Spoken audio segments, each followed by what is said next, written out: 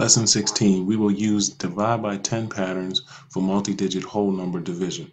All right, so let's look at our divide by 10 patterns. We know that if we had 17,000 on our place value chart, and we're dividing by two zeros, everything's just going to move over one, two places. So my one's going to be here.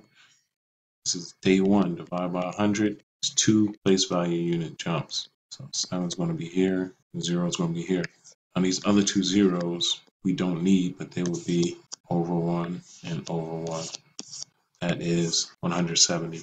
Same thing here. So if you look, what we did was we have 59,000 divided by 1,000. So every time we cross out a zero in our divisor, we can cross out a zero in our dividend. So that equals 59, all right? Let's look down here. Now we don't have true place value unit or base 10 number. So that's 10 times 10 is 100, 10 times 10 times 10 is 1000. Now we have 40 as our divisor. We can still use the method where we cross our zero out. So we got rid of one zero here.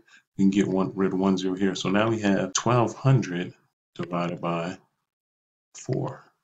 Well, I know that 12 divided by 4 would be 3, and I have two zeros here, 300. All right, so same thing. Let's take another look here. We have 480,000 divided by 600.